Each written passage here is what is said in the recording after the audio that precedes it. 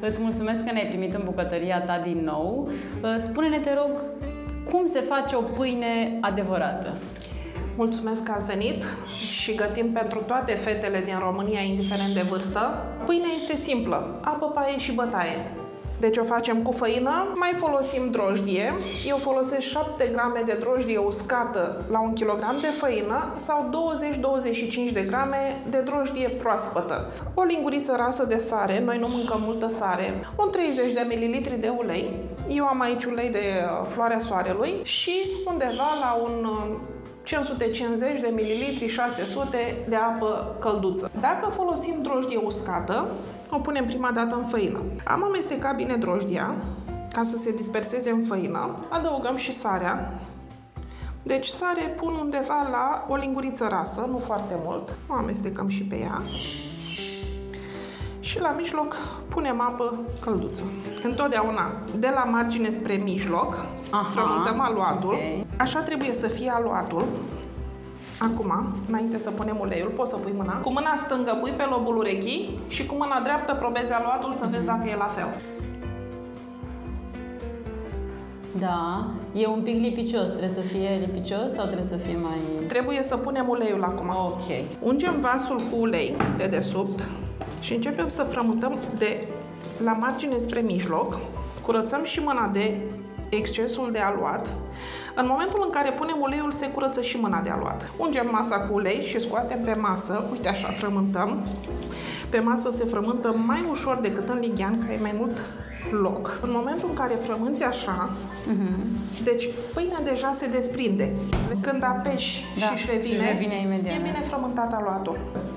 Mai punem puțin ulei? Nu, e suficient, nu? Puțin, așa, să ungem, să spunem. Punem aluatul. Doamne, Doamne ajută să crească și să faci copii frumoși ca ei mei. Da. Așa. Acum acoperim cu folie de plastic și cu șervet și ducem la căldură să dospească aluatul. Da. Așa a crescut pâinica noastră. Într-adevăr, am scos, uh, după ce a stat, uh, cred că mai bine de o oră și chiar s-a triplat în volum. Ungem masa cu ulei și răsturnăm aluatul. Ia uite cum e. Acum, rupem bucăți. Uite așa. Da.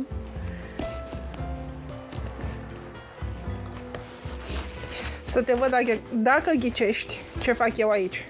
Faci niște uh, pite, niște pâinici uh, uh, focaccia.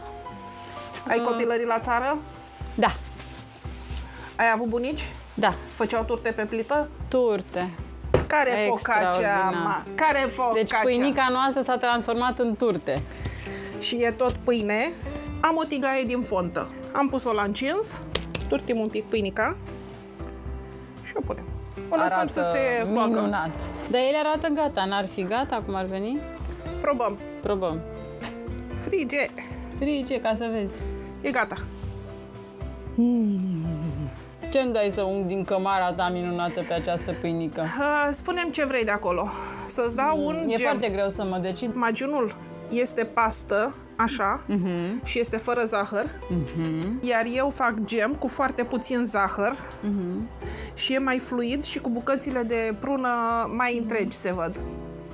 Sunt gata pâinicile noastre. Se fac foarte repede, e fierbinte. Așa arată.